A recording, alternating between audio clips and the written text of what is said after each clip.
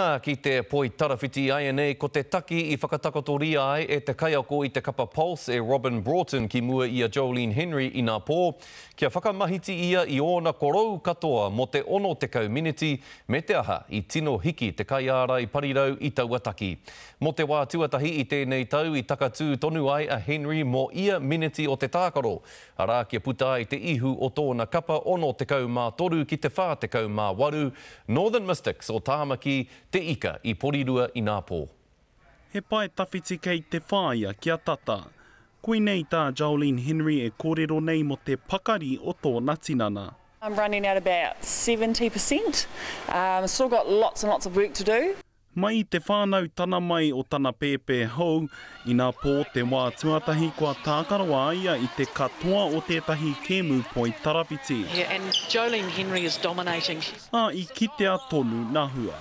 which I think is encouraging that you know I can play a full game against a international attacking line-up that they had yesterday and you know not be found wanting too much. There were times but as long as I could limit those and think that it's only going to get better with time. He tuatahi tana hoki te hina i a rātou te kapa Mystics o te Raki. Mā tērā e ora tonu ai te tūponotana ka whai tūrana te kapa Pulse i roto i nā whirina whāiti.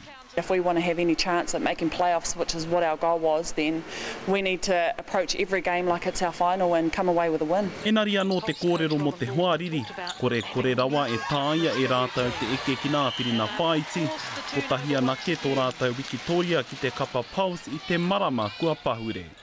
Mai te poi tarawhiti ki te whutupōro tokowhitu, kātahi anō ka hoki mai nā toa whakaihuwaka o te kapa wāhine ki te kāina.